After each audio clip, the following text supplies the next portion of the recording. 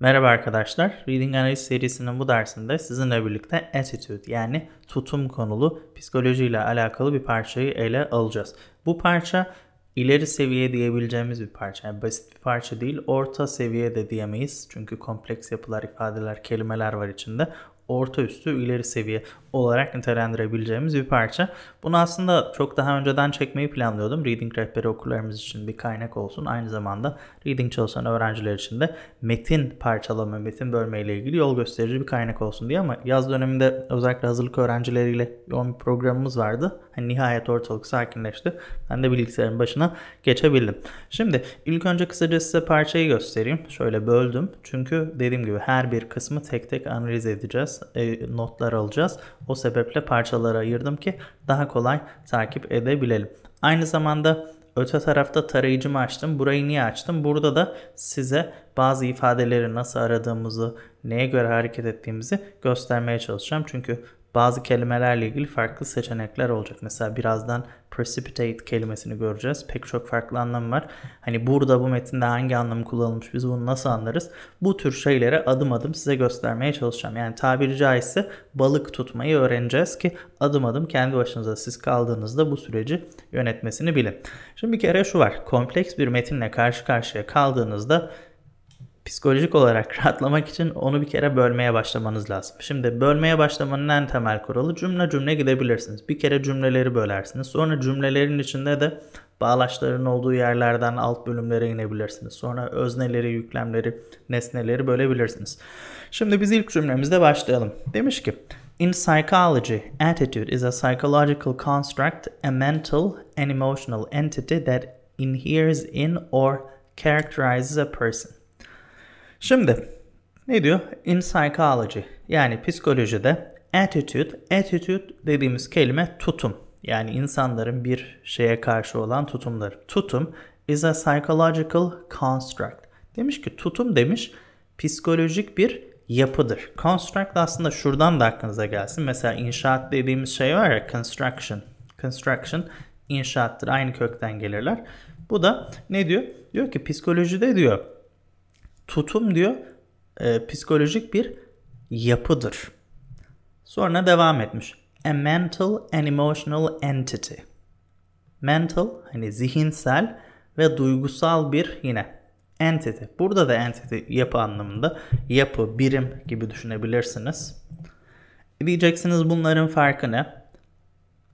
Çok detay. Yani mesela bu iki kelimenin farkını anlamak için ne yapmanız gerekiyor? Şöyle Türkçe sözlüklerden farkı ayırt etmek zor. İngilizce İngilizce sözlükten detaylarına ne bilirsiniz? Şimdi bakın construct diye aradığımda ilk önce karşıma fiil hali geliyor. Verb. Hayır ben bunu aramıyorum çünkü metnimde biliyorum ki bakın psychological construct. Hani sıfat gelmiş sonra isim olarak kullanılmış. Ben fiil halini aramıyorum.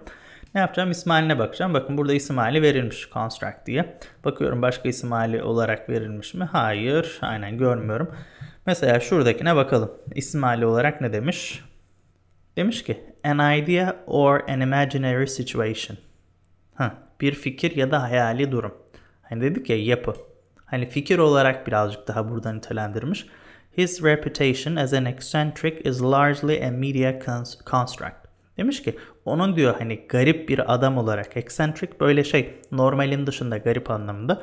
Onun demiş garip olma hani ünü, şanı aslında büyük oranda is largely büyük oranda a media construct. Hani büyük bir aslında büyük oranda bir medya uydurması, medya yapısı ya da medya fikri. Aslında böyle bir şey yok. Hani bu şekilde hayal edilmiş. Şimdi entity kelimesine bakarsanız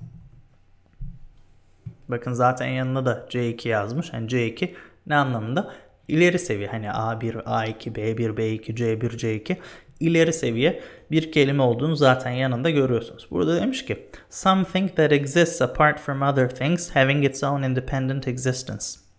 Bir şey, nasıl bir şey? That exists apart from other things. Hani diğer şeylerden bağımsız olarak var olan bir şey. O yüzden hani metin dedim ya yapı, birim diye. Having its own independence and existence. Independent existence. Hani kendisinin bağımsız varlığı olan. Hani diğer şeylerden bağımsız var olan. Hani kendi başına bir bütün, bir birim. Ne demiş? The museums work closely together. Hani müzeler diyor birlikte yakın bir şekilde çalışırlar. But are separate legal entities. Ama farklı, ayrı yasal kişiler ya da birimler diye söyleyebiliriz. Hani burada yapı, kişi, birim cümleye göre tabi netleşiyor. Şimdi buraya dönecek olursam ne dedik? Psikolojide dedik. Tutum is a psychological construct. Hani psikolojik bir yapıdır ya da hani fikirdir. Yapıdır, fikirdir. A mental and emotional entity. Zihinsel ve duygusal bir hani yapıdır, birimdir. That inheres in or characterizes a person. Şimdi burada that'le relative gelmiş. Ne yapılmış? Nasıl bir yapı olduğunu açıklayacak. Hani that bu entity'yi açıklayacak. Inheres in bir şeyde hani fiil bu zaten doğuştan var olmak hani doğal bir parça olarak gelmek anlamında. Aslında bunun bir başka kelimesi de var. Inherent belki bilirsiniz. Hani kalıtsal ya da doğuştan gelen anlamında bu sıfattır. Inhere de onun aslında fiil hali. Ne diyor? Hani kişide diyor ha, doğuştan gelen ya da o kişiyi karakterize eden, o kişinin kişiliğini oturtan demiş zihinsel ve duygusal bir yapıdır. Şimdi her şeyi birleştirecek olursak tabi bu tür kompleks cümlelerle e, uğraşmanın önemli noktalarından birisi o parçaları birleştirebilmek. Şimdi ben bunu okurken okuyup geçiyorum ama tabii başkasını anlatırken ne yapmanız gerekiyor? Tek tek tüm parçaları böyle Lego parçası gibi bölüp birleştirip ne nereye bağlanıyor göstermeniz gerekiyor. Yoksa normalde okuma beceriniz ilerlediğinde bu kadar uğraşmıyorsunuz. Direkt okuyup geçiyorsunuz. Ha, psikolojide tutum bir psikolojik yapıdır ya da fikirdir. Devam etmiş bir zihinsel ve duygusal yapıdır. Nasıl zihinsel ve duygusal bir yapıdır? Kişide doğuştan gelen ya da o kişinin e, bir kişinin kişiliğini characterize burada fiil olarak kullanılmış ya da hani kişinin diyelim kişiliğini yerleştiren, oturtan zihinsel ve duygusal bir yapıdır. Bu şekilde bu metni, daha doğrusu bu cümleyi e, yorumlayabiliriz. Şimdi devam edeceğim. Bakalım bir sonraki kısımda neler var. Bir sonraki cümlemiz daha basit bir cümle. It's a complex state acquired through experiences. Şimdi bu cümle de aslında çok kompleks değil de iki şeyi görmekte fayda var. Şimdi bakın diyor ki it's a complex state acquired through experiences. Burada mesela şunu görmeniz lazım. Burada bir tane relative var. Hani kısaltılmış bir relative var. That is acquired. Çünkü niye? Çünkü cümle varken cümlenin içinde hani bir ana cümlenin içinde tekrar yüklem alabilecek ikinci bir fiili kullanmayız. E şimdi burada bir şey varsa ha demek ki bu kısaltılmış. It's a complex. Bir de bir kelimenin yanında direkt onu açıklayan nitelikte bir fiil görüyorsanız o muhtemelen kısaltılmış bir relative clause yani ne diyelim açıklama cümlecidir. Ne diyor? Bir de burada yine dikkatinizi çekecek şeylerden birisi state kelimesi. Çünkü state kelimesinde pek çok anlamı var. Yani durum anlamı var, eyalet anlamı var, devlet anlamı var, pek çok anlamı var. Ama tabi burada nasıl biz hareket edeceğiz? Bir cümleye bakacağız, iki bağlama bakacağız. Şimdi psikolojiden bahseden işte insan ruhundan bahseden bir metinde muhtemelen durumdan bahsediyordur. Yani ruhsal durumdan ya da duygusal durumdan bir şeyden bahsediyor. Yani devletten bahsettiğini düşünmeyiz. Yani kelimelerin anlamını biz bağlama göre çıkartabiliyoruz. Ha, it's a complex state. Diyor ki o hani attitude'dan bir önceki cümlede attitude'dan bahsediyordu. Hani yani tutum it's a complex state. Diyor ki tutum diyor kompleks bir e, durumdur. Yani kompleks bir e, haldir. Hal ya da durum. That is acquired through experiences. Acquire neydi? Öğrenmek, elde etmek anlamında bir fiildi. Burada elde edilen ne vasıtasıyla? Through experiences. Tecrübeler vasıtasıyla elde edilen kompleks bir durumdur, vakadır. Ya da yazacak olursak işte tutum tutum tecrübeler vasıtasıyla vasıtasıyla vasıtasıyla elde edilen kompleks, karmaşık, kompleks bir durumdur ya da haldir. Okay? Yani hal durum anlamında yazabiliriz. Okay. Şimdi devam ediyorum. Diyor ki, bakın bu cümle kompleks bir cümle. It's an individual's predisposed state of mind regarding a value and it's precipitated through a responsive expression toward a person, place, thing, or event, the attitude object, which in turn influences the individual's thought and actions. Şimdi burada güzel şeyler var. Ne diyor?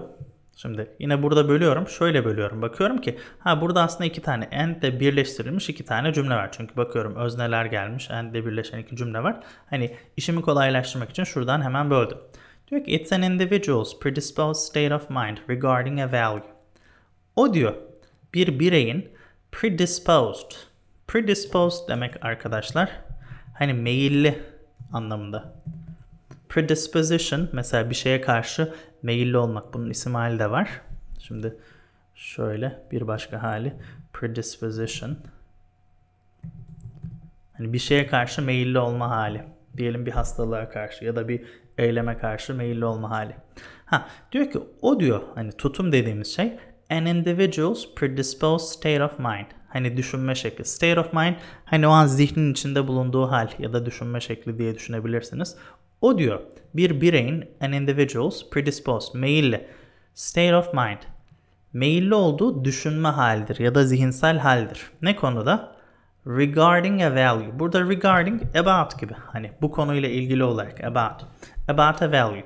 Diyor ki tutum dediğimiz şey bir kişinin bir değerle ilgili olarak meyilli olduğu düşünce halidir ya da zihinsel halidir. Diyelim ki işte bir şeyi düşündüğünüzde aklınızda pozitif görseller canlanıyor ya da bir şeye karşı diyelim düşündüğünüzde negatif, olumsuz bir tutum takınıyorsunuz. İşte bu predisposed state of mind yani meyilli olduğunuz zihinsel hal, zihin hali, zihin durumu olarak nitelendirilebilir. Evet, burası böyle. Şimdi devam ediyorum. Diyor ki, it's precipitated through a responsive expression toward a person, place, thing or event. The attitude object which in turn influences the individual's thoughts and actions. Şimdi buradaki kilit fiil precipitate. Precipitate fiilinin de açıkçası bir sürü anlamı var. Bakın şimdi bakacağız. Şimdi bakarsanız dediğim gibi zaten çoğu öğrencinin yaptığı hatalardan birisi şu. Kelimenin tek bir anlamına bakılıyor. Ondan sonra da o oraya uymuyor. Saçma geliyor ya da hani öğrenci uyduruyor. Yani onu oraya uyduracak şekilde hayaller kuruyor. Anlamı çok değiştiriyor. Hayır. Yani bir kelimenin bir sürü anlamı varsa bir kere biz, bizim o tüm anlamları görmemiz lazım. Değerlendirmemiz lazım. Metne göre analiz etmemiz lazım. Burada ne? Fiil olarak kullanılmış. It's precipitated through. Bakın burada ne yapılmış? Hani pasif yapılmış fiil. Yani edilgen bir yapıya çevrilmiş ama fiil olduğunu görüyoruz. Precipitate. Diyor ki e, resmi, formal, resmi bir fiil olarak zaten daha ileri seviye bir kelime. To make something happen suddenly or sooner than expected. Hani bir şeyi hızlı bir şekilde gerçekleştirmek ya da beklenenden hızlı şekilde gerçekleştirmek. Ne demiş? An invasion would certainly precipitate a political crisis. Bu bring anlamında. Ya diyor ki bir diyor işgal kesinlikle getirir. Hani hani ortaya çıkarır ne? A political crisis, politik bir krizi ortaya çıkartır. Hani bir anlamı to make happen, to bring yani gerçekleştirmek, getirmek anlamında. İkinci anlamı throw, atmak anlamında. Mesela ne demiş? To throw someone or something from a height with great force. Hani bir şeyi ya da birini yüksek bir yerden büyük bir şiddetle, büyük bir güçle atmak. Bu da bir başka anlamı. Sonra chemistry, kimyadan bir anlam verilmiş. Demiş ki if a liquid precipitates, substances in it become solid and separate from the liquid. Demiş ki bir e, sıvı precipitate yaptığında substances in it, onun içindeki maddeler, nesneler katılaşır ve separate from the liquid, hani sudan ayrılır. Ne demiş? If any organic salt is formed, it will precipitate out immediately. Bakalım. Demiş ki herhangi bir organik tuz oluşursa it will precipitate out immediately. Hani kuruyacak, sudan ayrışacak anlamında kullanılmış burada gördüğüm kadarıyla. Ne demiş? Katılaşıp sudan ayrılmak, liquidden ayrılmak. Evet bakın bu da başka bir anlam. Hani atmak, işte ondan sonra ayrılmak gibi anlamları var. Yukarıda gerçekleşmek, getirmek gibi anlamları var. Burada daha sonra noun e, olarak, isim olarak kullanılmış. Aynen hani arta kalan anlamında. Sıfat hali var. Bu da bizimle alakalı değil. Bakıyorum yine fiil olarak bir şeyin gerçekleşmesinden bahsedilmiş. ayrılmak yine aynı şekilde. Aynı şeyler tekrar etmiş açıkçası. Farklı bir şey yok. Şimdi demiş ki It's precipitated through a responsive expression toward a person, place, thing or event. Şimdi mesela buradaki açıklamalar çok beni tatmin etmedi. Bu durumda ne yaparım? Bu durumda şunu yapabilirim. Giderim mesela Longman Dictionary. Bakarım ikinci bir sözlükte yani aradığım anlama yakın bir şey bulabili bulabiliyor muyum diye bakarım. Precipitate.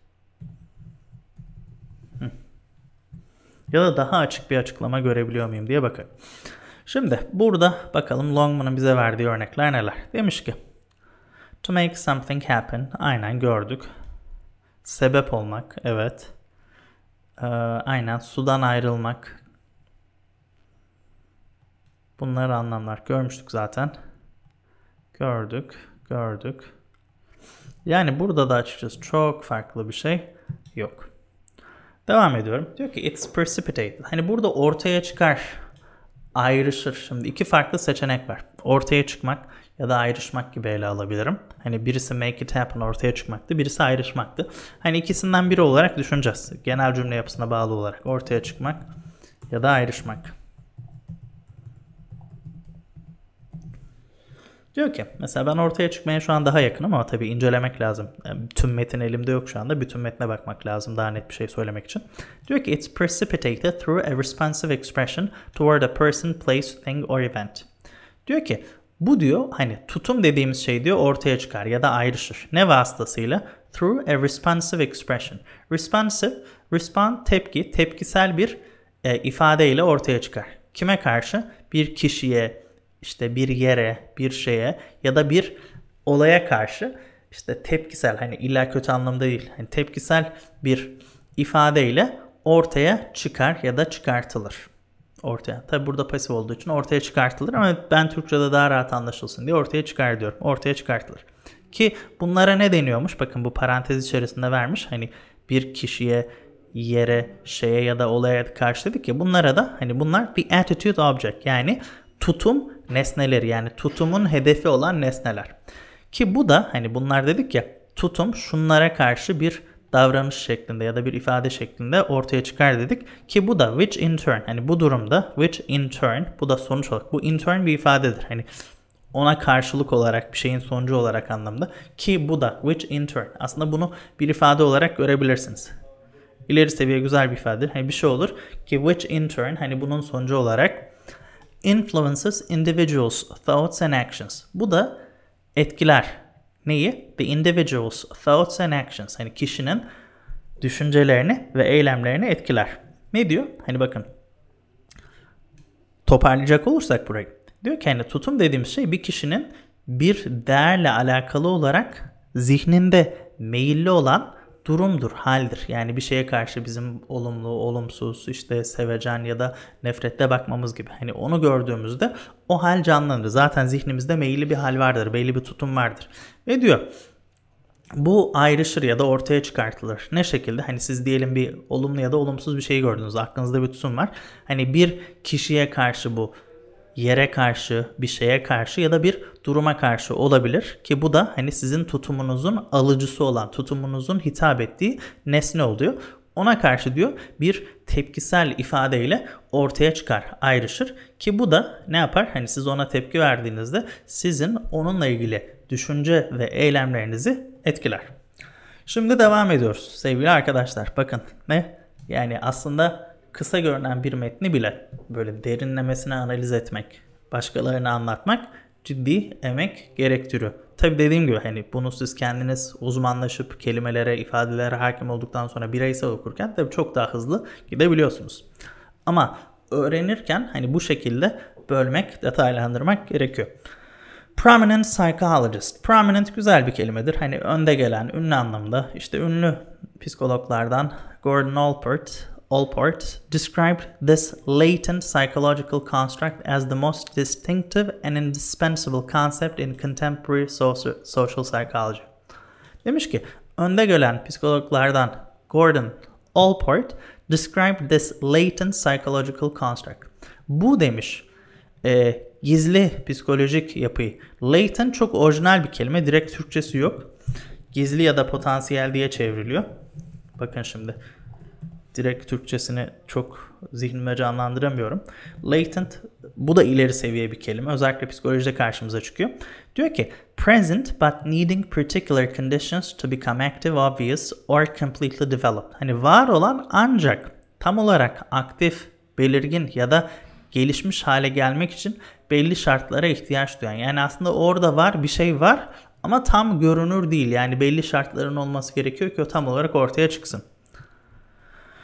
Ya da ha, yine başka bir açıklama. Present but not yet active, developed or obvious. Hani var ama tam olarak ortaya çıkmış değil. Ne demiş mesela? Latent ethnic tensions exploded into the open yesterday. Demiş ki hani böyle gizli potansiyel etnik gerilimler patladı into the open. Hani ortaya çıktı. Açığa çıktı, açıkta patladı. Dün hani varmış diyelim belli gerilimler. Bunlar nihayet dün patlamış ortaya çıkmış. Burada da hani gizli ya da potansiyel diye Türkçe'de çevrilebiliyor ama tabii psikoloji dünyasında daha farklı bir karşılıkta bulabilir.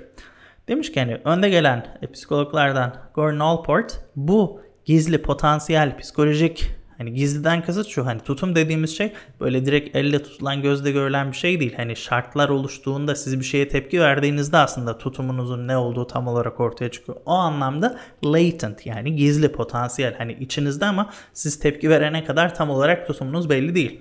Ha, diyor ki bunu bu gizli potan psikolojik yapıyı nasıl değerlendirmiş? As the most distinctive, en ayırt edici ve vazgeçilmez kavram olarak değerlendirmiş. Nerede? In Contemporary Social Psychology. Ne? Contemporary güncel, modern ama güncel modernden kasıt hani çağımızın şu anda, şu andaki hani çağdaş sosyal psikolojinin en ayırt edici ve vazgeçilmez hani konseptlerinden işte kavramlarından birisi olarak değerlendirmiş bu gizli ya da potansiyel psikolojik yapıyı. Kim bunu söylemiş? Gordon Allport. Evet, sonra diyor ki attitude can be formed from a person's past and present. Tutum demiş can be formed. Pasif cümle. Oluşturulabilir. Nereden? From a person's past and present. Bir kişinin geçmişinden ya da yok ya da değil ve geçmişinden ve şu anından oluşturulabilir. Yani dedi, dediği şu. Hani tutum dediğimiz şey kişinin geçmişi ve şu anda yaşadıklarından yola çıkarak o tecrübeler, işte tutumlar, etkileşimler bunlardan yola çıkarak oluşturulabilir ya da oluşabilir. Sonra Key Topics in the Study of Attitudes. Ne demiş? Tutumların incelenmesinde the study bakın isim olarak kullanılmış. Hani tamlamanın içinde çünkü fiil değil. The study of attitudes ne? E, tutumların incelenmesi, araştırması anahtar ya da kilit konular nerede? Tutumların araştırılmasında. Tutumların araştırılmasında kilit konular, anahtar konular içerir. Neyi? Attitude strength işte tutum gücünü. Attitude change tutum değişimini. Consumer behavior işte tüketicilerin davranışları ve attitude behavior relationships ve demiş e, tutum davranış ilişkilerini içerir. Yani demiş ki aslında özetle bu tutumla ilgili çalışmalardaki kilit konular, temel konular şunlardır. Şunları içerir. İşte tutumun gücü, tutumun işte değişimi, e, tüketici davranışları ve tutum ile davranış arasındaki ilişkiler. Evet, böylece ne yapmış olduk? Bu metni tamamlamış olduk. Şimdi kompleks bir metindi hani basit bir metin değildi. Orta üstü ileri seviye olarak nitelendirebileceğimiz bir metindi. Şimdi bunu kim sormuştu hatırlamıyorum ama zannedersem bundan 3-4 hafta önce Twitter'dan okurlarımızdan biri bunu sormuştu. Hatta resim göndermişti. Hocam bu sayfa çok zor geliyor ya da hani bu metinler beni zorluyor ne yapacağız diye. Umarım hani bu ders o analiz sürecini o araştırma sürecini kolaylaştırmıştır. Hani burada benim yaklaştığım gibi yaklaşırsanız daha rahat hareket edersiniz. Bir kere karşınızdaki cümleleri bölmek, alt parçaları görmek, ondan sonra kelimeleri tek tek analiz etmek. Yani bakın ben şu ana kadar belki hani on binlerce sayfa İngilizce metin okumuşumdur. Belki, işte ne bileyim hani saat olarak tabi hesabını tek tek tutmuyorum ama on binlerce saat dinlemişimdir, izlemişimdir ama muhakkak bir şeyden emin değilsem sözlüğe gidip araştırma ihtiyacı hissediyorum. acaba hani bu nedir? Mesela şimdi burada size açıklamak için Turangi falan filan da açmıştım. Hani ne derler Türkçesi tam olarak nedir? Çünkü bazı şeyleri İngilizce bilseniz bile bazen Türkçesi aklınıza gelmeyebiliyor. Yani araştırma sürecinde muhakkak İngilizce İngilizce sözlüklerden destek almak gerekiyor. Hani ben burada Cambridge'i kullandım. Longman'ı da kullanabilirsiniz. Hani güvendiğiniz, sevdiğiniz başka bir kaynak da olabilir. Ondan sonra Türkçeleri anlamak için Turing Zargan gibi sözlükten bakabilirsiniz ya da Translate açık olabilir. Buradan bakabilirsiniz. Ama bu doğrudan Türkçe karşılığı acaba ne olabilir diye. Yani anlama sürecini İngilizce İngilizce sözlükten yürütmek daha sağlıklı çünkü daha çok detay var. Sizi daha çok yönlendirecek örnek ve ipucu var.